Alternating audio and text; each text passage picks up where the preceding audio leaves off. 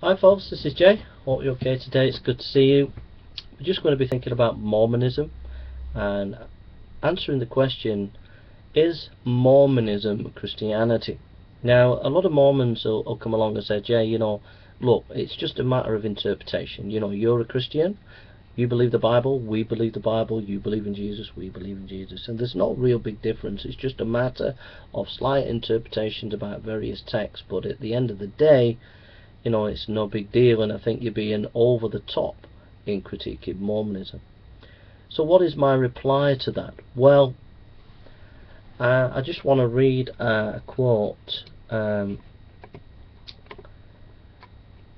and um, this is by um, a Christian apologist by Matt Slick, and he says this, when the Mormon says he accepts the Lord Jesus as his Redeemer and Saviour, he is not acknowledging the true Jesus, instead he is believing in the Mormon concept of Jesus.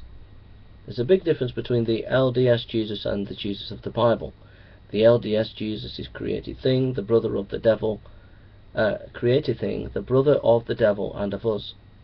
Now, I just want to stop there. For a moment to say that Jesus has been created is a completely different Jesus than what the Bible's teaching. It says in the beginning was the Word, and the Word was with God, and the Word was God. In other words, Jesus was not created, He has always been. He is the Word, and God is the Word. So, there's a massive difference between Mormonism and Christianity, and that is Jesus. The Mormon view of Jesus is completely different. Also, Mormons don't really understand uh, the cross of Christ. It says in 1 Peter chapter 1, 2 verse 24, who himself bore our sins on his own body on the tree, that we having died to sin might live for righteousness, by whose stripes we were healed.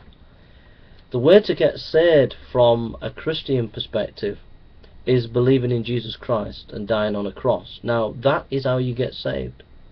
Is believing that Jesus died for you and gave his life for you on the cross. Now for the Mormon, the big thing is the Aaronic priesthood. This is the central thing. Uh, and you go through a, a, process of, of uh, going to the Mormon temple and, and being initiated in various rites and things.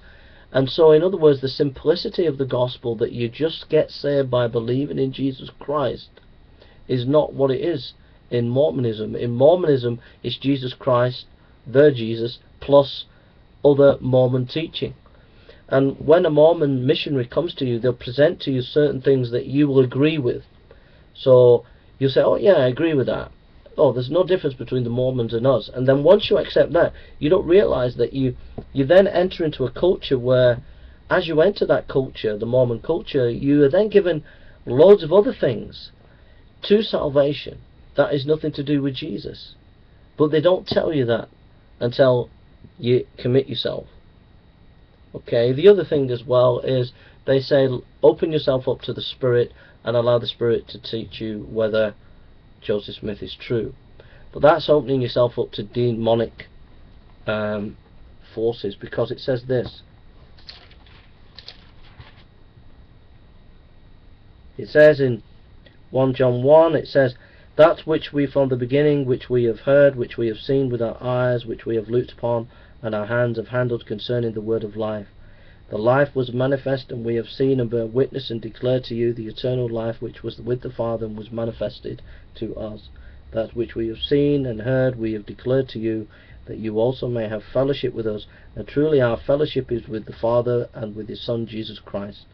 These things we write to you that your joy may be full. This is the message which we have heard from him and declare to you that God is light, and in him is no darkness at all.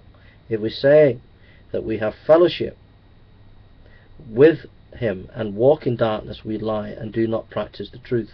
But if we walk in the light as he is in the light, we have fellowship with one another, and the blood of Jesus Christ his Son cleanses us from all sin. If we say that we have not sinned, we deceive ourselves, and the truth is not in us. If we confess our sins, he is faithful and just to forgive us our sins and to cleanse us from all unrighteousness. If we say that we have not sinned, we have made him a liar, and his word is not in us. My little children, these things I write to you so that you may not sin.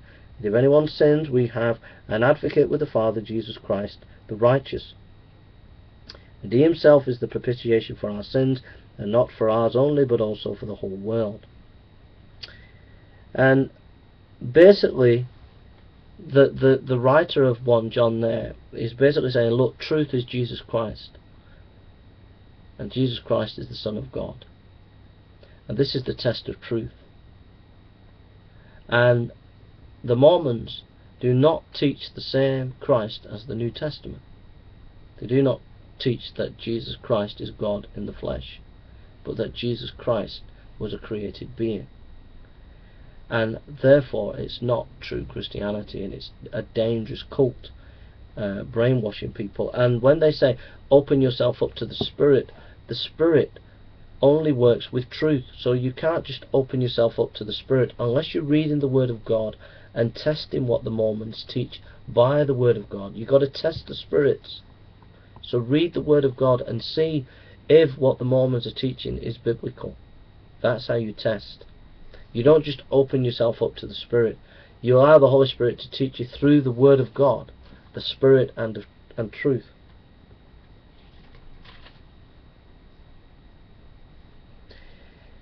It says in uh, 1 John chapter 2 verse 18, Little children, it is the last hour, and as you have heard that the Antichrist is coming, even now many Antichrists have come, by which we know that it is the last hour.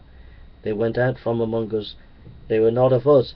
For if they had been of us, they would have continued with us, and they went out that they might be made manifest that none of them were of us. Who is a liar but he who denies that Jesus is the Christ? He is Antichrist who denies the Father and the Son. So you mustn't have anything to do with Mormonism, but come into the true light. Look at the links on my channel, and you'll find truth and you'll find Christ. Thank you.